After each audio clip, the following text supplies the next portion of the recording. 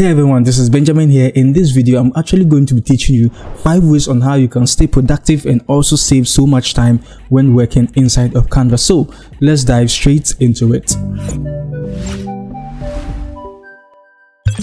So before we dive into it, I just want you to know that these tips I'm about to share with you are tips I actually use practically inside of Canva and it's been helping me. That's why I think I'm ready to share them with you. So let's dive straight into the first tip.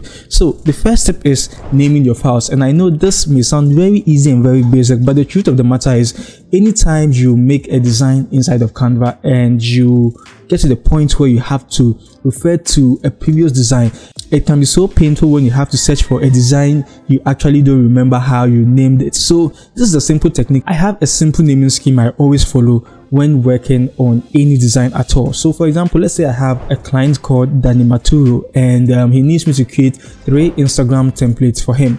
This is what I do. I first of all start with the client's name. The second thing is the type of content the client needs me to do.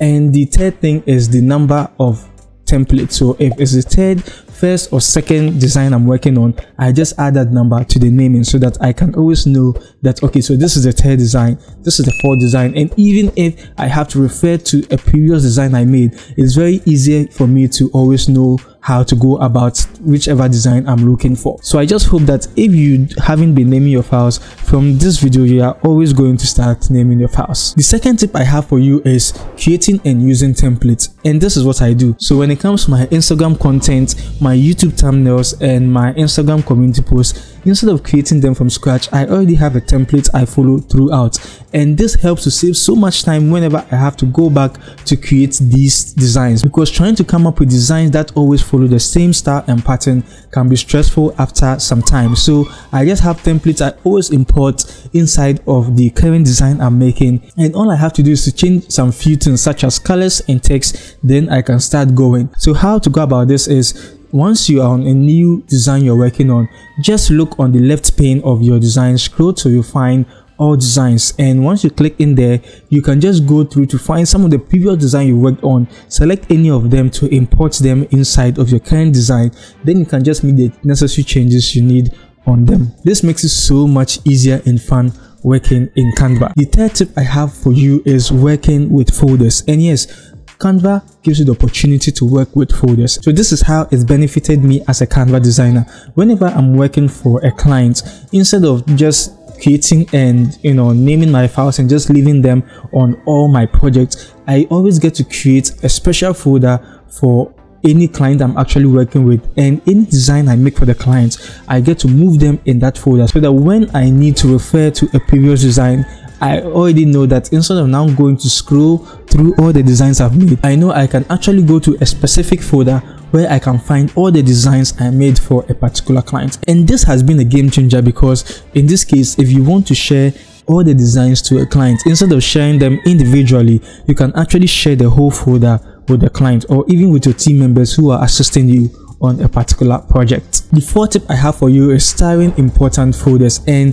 the way this is helpful is the fact that if you have so many folders inside of Canva you've been working with but there are a few of them where you always work with them frequently. Canva gives you the option to start these folders you actually work with frequently so that you are able to access them easily. So this is how it works. Once you start in a particular folder and you open Canva afresh the particular folder you have actually started also gets to show on the left side of your canva window so that it's easier to access these designs so i hope you're actually going to use this because it's actually been a game changer for me now the last thing is deleting unwanted uploads. And as a canva designer like myself i've always been uploading so many things inside of canva and it's really been slowing me down whenever i have to find maybe an important upload i made some time ago. So for example the first few important items i uploaded to canva when i created my canva account was my logo. And i know you can already imagine the stress i already have to go through